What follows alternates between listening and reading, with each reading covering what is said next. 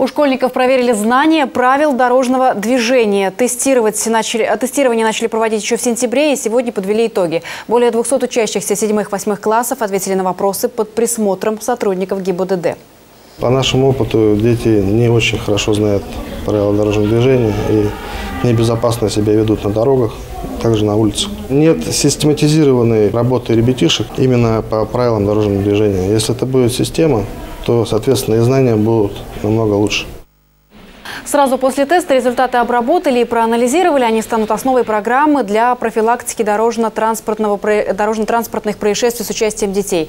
О том, что такая программа необходима, говорит статистика. В прошлом году количество аварий с участием несовершеннолетних выросло на треть. А в этом году на дорогах города уже пострадал 21 ребенок. Организаторы тестирования не только проводят срез знаний школьников, а также работают с родителями. Как правило, наибольшее количество ДТП происходит по вине самих родителей. Родители являются образцом для подражания детям. И мы с вами часто можем наблюдать, что они переходят, ведя малыша за руку в неположенном месте на красный цвет.